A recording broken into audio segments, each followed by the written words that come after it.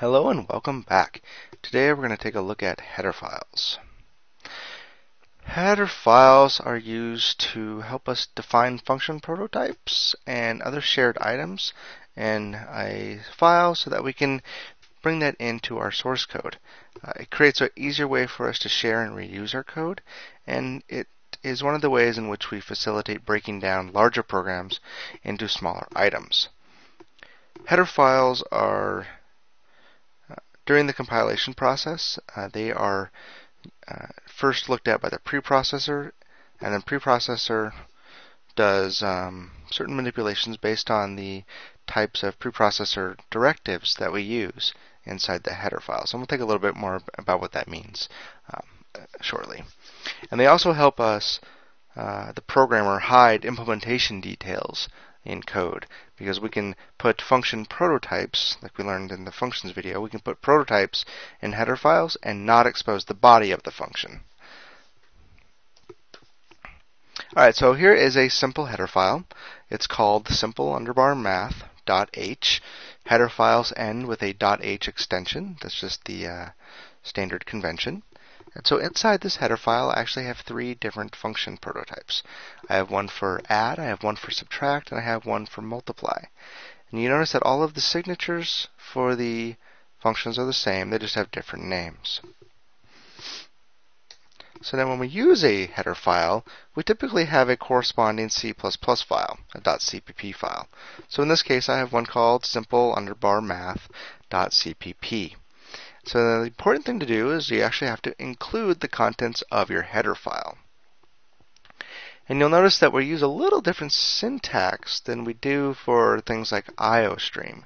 You'll see that we have quotes instead of angle brackets around the header file name. And what that does is that just, just uh, controls the lookup path. Um, there are two paths, or there are two ways in which the uh, preprocessor will look up header files. And using the angle brackets searches through all your system uh, system paths first, whereas if you use quotations, it searches through all your local user uh, paths first. So, anyways, so when you have local header files in your header in your in your project, you'll use uh, double quotes.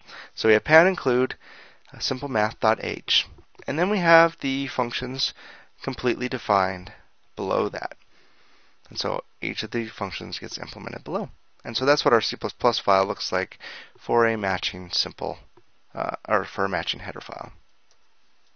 Alright, so how do we use those functions that we have now defined and we have implemented in our program? So in our main C++ file, main CPP, we include the IOStream so we can do some output. Then we include the simple math.h file. And we do that because we need to know about the add function that we want to call in this code. So if you look down in our int main, uh, we output the answer to 4 plus 2 using the add function.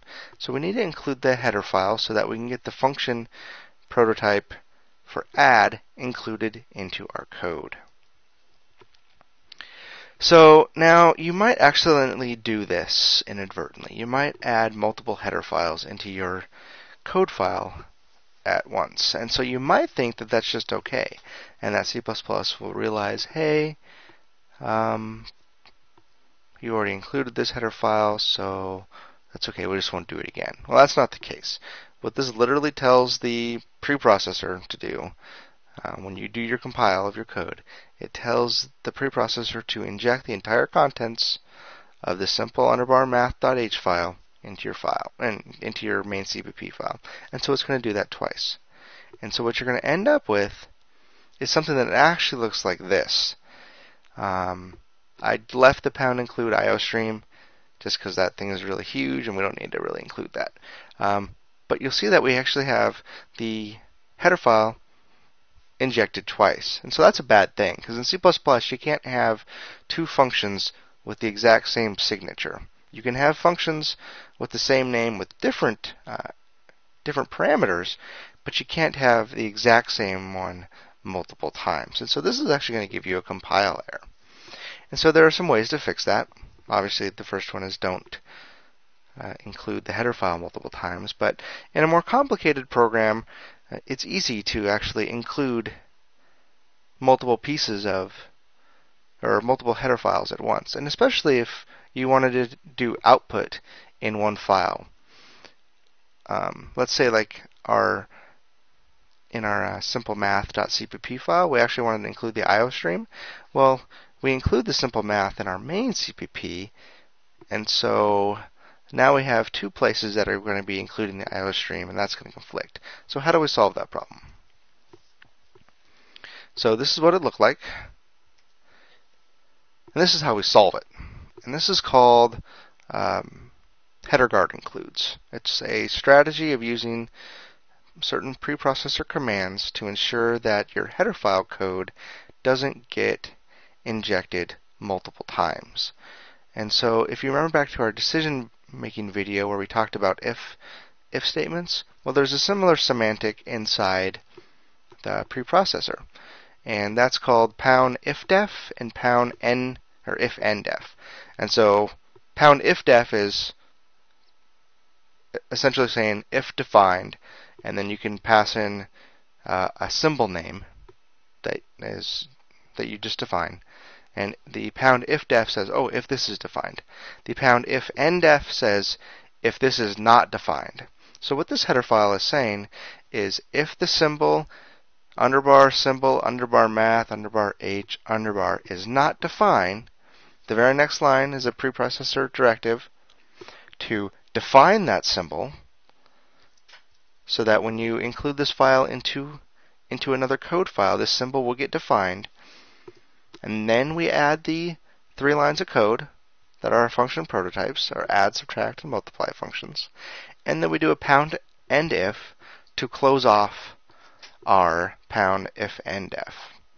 And so each one of these pounds are preprocessor directives. They are special commands that the preprocessor, ha preprocessor handles. And so this will actually protect us from adding that those three function prototypes in multiple times. Because the next time that this file gets encountered in the same code file, the symbol math underbar h uh, symbol will already be defined. And so that's basically header files. Um, I hope that all made sense. Uh, you should definitely go play with some of this. Try adding those in. Try changing the symbol names. Uh, they they are case sensitive, so remember that C++ is case sensitive. I don't know if I've actually ever explicitly said that, but C++ is a case sensitive language, um, and so the symbols need to match exactly. And so I just use underbars as a convention. You can use how, whatever name you want to, as long as that name is the same. Um, so yeah, go play around with it. See if you can make use of some header files, add them into your project, and give that a go. So with that, thanks.